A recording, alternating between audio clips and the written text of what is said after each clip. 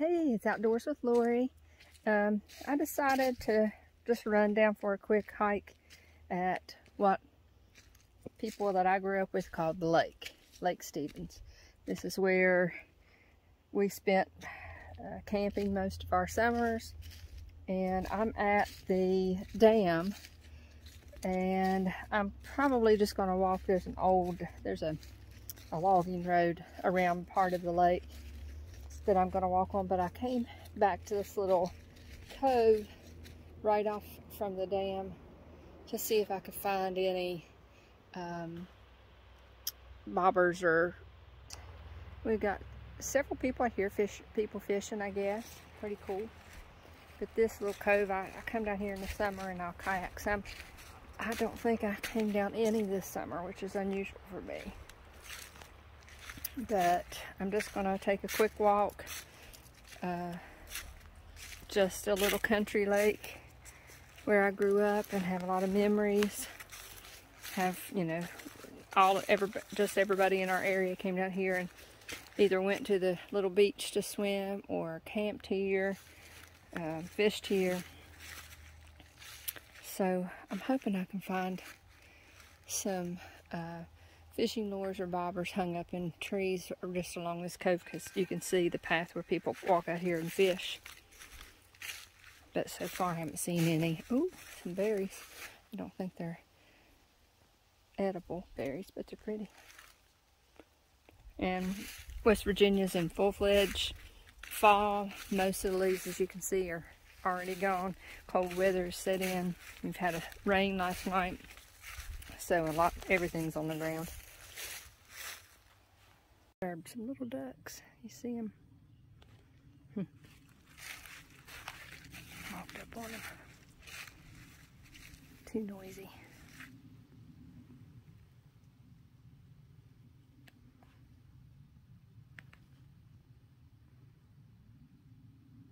So I didn't find any bobbers or anything. And I decided, I just grabbed on the saplings and climbed up the side of the hill right. Just up this climbed up through there to get to this path. And this is the the little it's gated but it's an old logging road. And you can come in through it on the back end. I think they keep that gate open. And there's back ways to the lake through here but um, you you rarely run into people unless they're riding dirt bikes or side by sides that kind of thing. So this is pretty much it, just a little old gravel, dirt, uh, logging road right in the heart of Lake Stephens area. And unless we stir up a deer or a raccoon, something like that, this will be this will be the day. I already saw you, little squirrel climbing over here. That'll be pretty much it, I would expect. So you'll go through a lot of muddy ground, I guess where it has rained yesterday. Rained yesterday. I think. Uh, and this, every time I've been here, you can have mud puddles. So you just walk along the fringe either way and you can see where vehicles have been through here. Uh, in the summer, you see frogs and tadpoles. I was hoping we could see a little turtle. Ow, briars. But um, I haven't seen any. It might be too cold right now for them to be out in the water. But so far I've just seen deer tracks and some dog tracks. I'm sure someone's out here, you know, walking with their dog. Quiet. Damp. Hear the raven or the crow in the background occasionally. Occasionally other birds. Squirrel occasionally.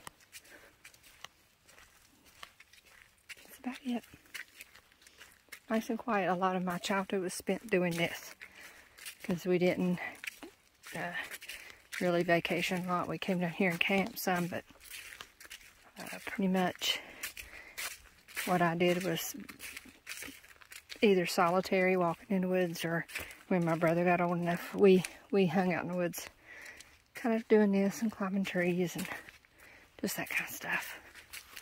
I don't know if you can see, it's little finches and they're causing a little stir. And I figure they have a nest right over here somewhere. Let me see if they'll kick up if I come back over to it.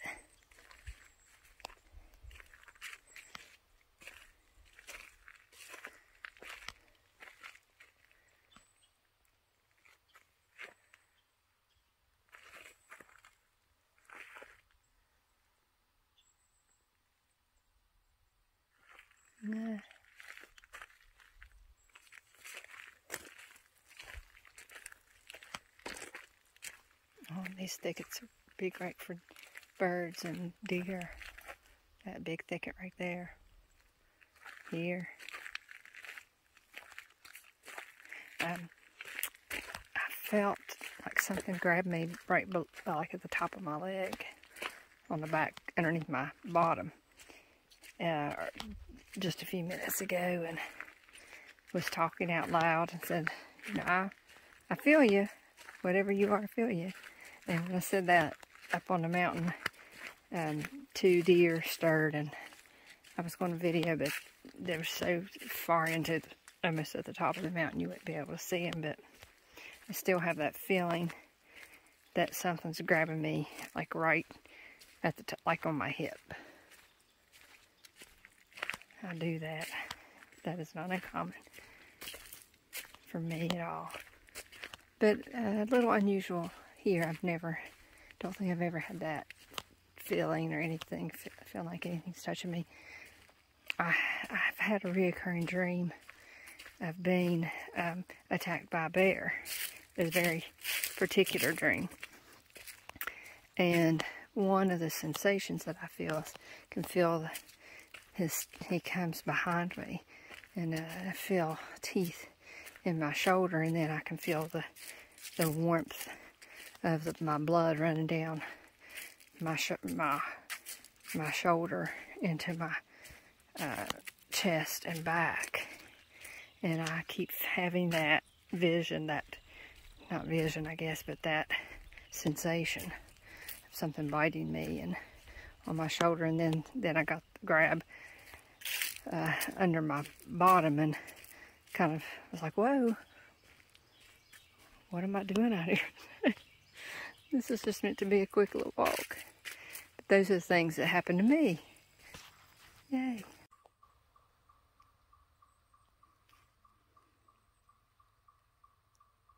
Okay, what are we hearing? A woodpecker or a turkey?